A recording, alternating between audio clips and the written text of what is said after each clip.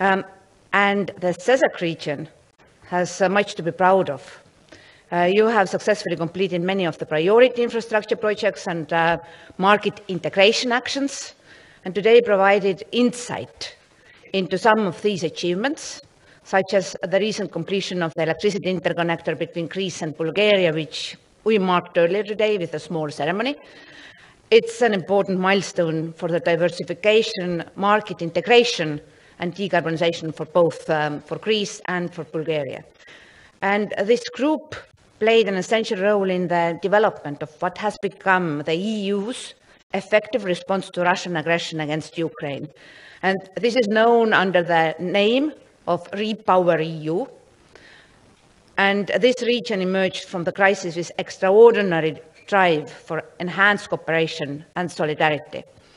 Uh, uh, I would like uh, to thank everybody for the summit that we had the approval of the three action plans, the three updated action plans on electricity, renewable gases, and hydrogen is a very specific and tangible result.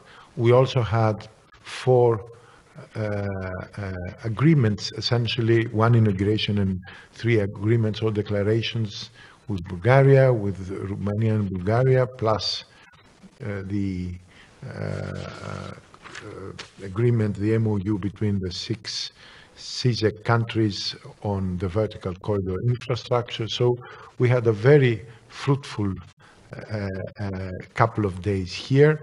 Uh, I would like to, to emphasize how important it is for our economies to be able to cooperate more. And this importance was always there. Uh, if you have a common, a single market, then it's very important to also have a single market for energy.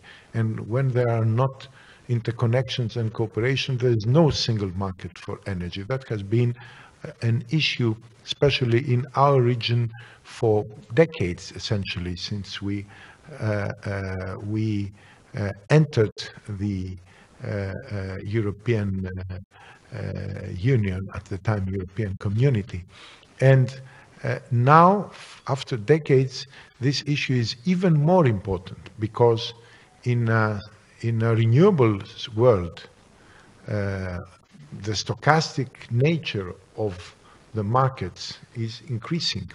So cooperation, regional cooperation, is not just a nice to have, is an existential issue for this region. And that's why I'm very, very happy that we are moving forward with pace uh, to resolve this existential uh, uh, issue for our region. And Greece, being in, in the southern part of this region, is uh, uh, uh, sees this not as a challenge, but also as an immense opportunity. Thus, will will be happy to host as many meetings as possible, uh, uh, and uh, we'll be happy to promote as many connections and integration efforts as possible. We will now sign the MOU for the vertical corridor.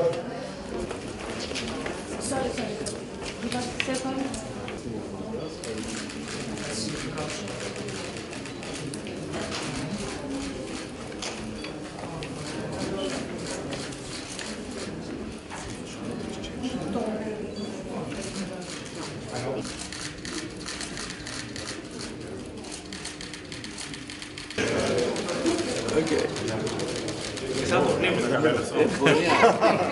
You are in the middle. Sandwich, sandwich